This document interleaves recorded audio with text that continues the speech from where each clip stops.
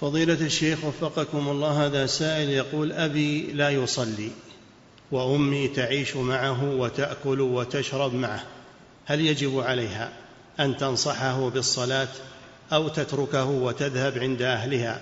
وأيضا هل ترثه إن مات على ذلك؟ والله هذه راجع القاضي فيها. نعم.